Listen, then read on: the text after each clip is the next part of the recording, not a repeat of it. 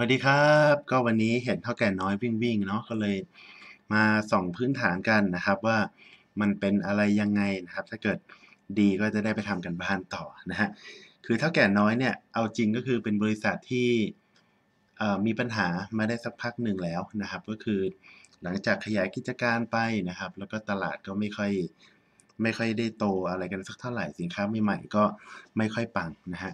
ยอด แล้วก็ขยายโรงงานเยอะเลยนะครับ ก็ใช้กำลังการผลิตไม่เต็มด้วยนะครับต้นค่าใช้จ่ายต้นทุนก็เลยสูงนะครับ ทีนี้ แต่ว่าเมื่อวันที่ 13ธันวาที่ผ่านมานะนะครับ ก็อยู่ดีๆ ก็คุณท็อปนะครับจากบิดครับก็มาโพสต์รูปนะบอกว่าอนาคตดีตรงนี้แล้วนะฮะหลังตอนเช้ามานะครับหุ้นก็เลยเปิดบวกขึ้นมาเลยทีเดียวว่า7%นะก็ ถือว่าเป็นกิมมิคเล็กๆนะนะครับโอเคแค่นี้นักลงทุนก็ก็ดีใจแล้วนะฮะโอเค ปัญหาของเขาอยู่ตรงนี้ครับก็คือตั้งแต่โควิดมานะครับ ตั้งแต่โควิดมาเนี่ยก็แล้วก็โดนล็อกดาวน์ด้วยอะไรด้วยนะครับ ตลาดส่งออกที่หวังเยอะๆเลยนะครับ ก็คือที่เมืองจีนนะครับ ที่เมืองจีนก็เข้ายากกันเหลือเกินนะครับ ปิดประเทศอีกอะไรอีกนะครับ ก็เลย ขายไม่ค่อยดีเท่าไหร่นะครับ ส่วนในประเทศก็หลังจากโดนล็อกดงล็อกดาวน์นะครับห้างปิดอะไรปิดก็ยอดขายในประเทศก็ drop ลงมาด้วยนะฮะโอเคก็ถือว่าเป็นสัญญาณที่ยังไม่ค่อยดีเท่าไหร่นะฮะโอเคทีนี้มาดูว่าเขาขายที่ไหนกันบ้างนะฮะก็สมัยก่อนเนาะส่งออกก็จะไปส่งออกที่จีนเป็นหลักเลย 40%นะครับแล้วก็พอมาปีนี้นะครับก็เริ่ม ขยายไปตลาดอื่นบ้างนะครับ อย่างพวกอินโดมาเลเซียฮ่องกงสิงคโปร์นะฮะนี่แล้วก็การที่จะเรียกลูกค้าก็เอาไปรวมกับเกมบ้างอะไรบ้างนะครับ แล้วก็เด็กๆก็เลยชื่นชอบนะฮะเด็กๆก็เลยชื่นชอบ แล้วก็ขนมเนี่ยก็ไม่ได้มีแค่สาหร่ายนะนะครับ ก็ยังมีพวกไก่บาร์บีคิวมีอะไรเงี้ยเขาก็ออกของเขาไปเรื่อยนะครับ ก็ถือว่า ใช้ได้นะครับ ถือว่าใช้ได้แล้วก็คือถ้าดูตามสัดส่วนเนี่ยแปลว่าเขาประเมือนว่าจีนเออก็คงไว้จุดหนึ่งนะครับ แล้วก็ขยายไปตลาดรอบๆ คือขนมทำขนมทำอะไรเนี่ยนะ ถ้าถ้ามันมีสินค้าติดตัวสักตัวสักอันสองอันนะ อยู่ได้ยันลูกบวชนะครับ ถือว่าเป็น base มาเลยทีเดียว ทีนี้มาดูที่เมืองจีนนะครับ ที่เมืองจีนก็ลงมาเรื่อยๆ แหละ จากการล็อกดาวน์บ้างอะไรบ้างนะครับ แล้วก็ ตอนนี้ก็คือเริ่มหลังจากที่เปลี่ยนนะครับเปลี่ยนตัว distributor นะครับ ผู้กระจายสินค้าก็เออชีวิตเริ่มดีขึ้นนะครับ แล้วก็ทำอีคอมเมิร์ซทำเอ่อเรื่องของทุกช่องทางต้องต้องไม่พลาดนะฮะต้องไม่พลาด ก็เลยทำให้ยอดขายของไตรมาสสามนะครับ ก็เริ่มเริ่มเด้งขึ้นมานะครับ ถือว่าใช้ได้เลยทีเดียวนะฮะโอเค ก็หวังว่าตอนเปิดเมืองชีวิตก็น่าจะดีขึ้นนะครับ ปัญหาของเท่าแก่น้อยนะครับ มีอยู่อันนึงนะครับก็คืออต้องเรียกว่า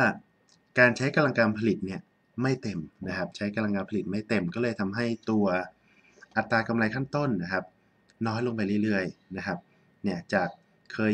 27%นะครับในปี 20 ลงมาเหลือ 22 นะครับใน 9 เดือนปี 20 แล้วก็ เฉพาะไตรมาส3เนี่ยลงมาที่ 19%ด้วยนะครับ หลักๆของเท่าแก่น้อยนะครับ ปัญหาก็จะมีอยู่ 2-3สาสาเหตุ อันแรกเลยก็คือเรื่องของสาหร่ายราคาแพงนะครับ อันที่ 2 ก็คือกำลังการผลิตใช้ไม่เต็มนะครับ แล้วก็เรื่องของยอดขายไม่มาตามนัดนะฮะก็คือเปิดสินค้าใหม่เปิดใหม่เปิดใหม่เรื่อยๆนะครับ ยอดขายก็ไม่ค่อยจะมากันสักเท่าไหร่นะฮะทีนี้ มาดูว่าประสิทธิภาพเขาบริหารงานได้ดีไหมนะครับ เราก็ดูจากตัวค่าใช้จ่ายในการขายนะครับ ดูว่ามันสัดส่วนเนี่ยอยู่ที่ประมาณสักกี่เปอร์เซ็นต์ของยอดขายนะครับ ถ้าเกิดเราไปดูตัวเลขเนี่ยงบโฆษณาก็จะอยู่ที่ประมาณสัก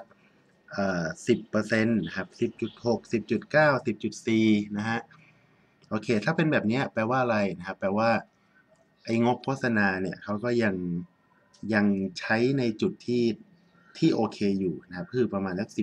ของยอดขาย ก็ไม่น่าไม่น่าตกใจอะไรนะครับ ส่วนค่าใช้จ่ายในการบริหารก็ยังคุมได้ค่อนข้างดี แต่ก็ยังเพิ่มขึ้นอยู่นะฮะจาก 7%นะครับมา 8 ตอนนี้ก็คือขึ้นมาที่ 8.4แหละนะฮะถ้าเกิดตรงนี้คุมคุมสัดส่วนให้มันดี ๆ ได้นะครับชีวิตเขาก็จะ ก็จะดีขึ้นนะครับชีวิตก็จะดีขึ้น ทีเนี้ยเถ้าแก่น้อยเนี่ยนะครับคือถ้าเกิดยอดขายมันมานะ step step ของการที่กำไรกระโดดเนี่ยก็คือ1-2ไตรมาสเนี่ยคุณจะต้องเห็นยอดขายที่ที่มาแหละนะครับ แล้วพอยอดขายมาปุ๊บบริษัทเนี่ยกำไรมันจะมันจะพุ่งทันทีนะครับ ทีนี้มาดูในแง่ของการบริหารงานว่า เป็นยังไงกันบ้างนะครับ ในแง่ของ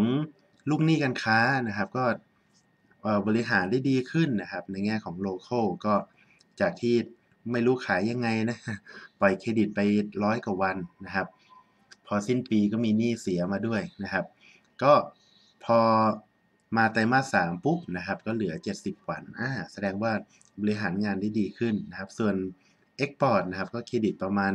เดือนหนึ่งนะครับ ออถือว่าขึ้นขึ้นมาค่อนข้างเยอะนะครับ สินค้าสำเร็จรูปเก็บไหม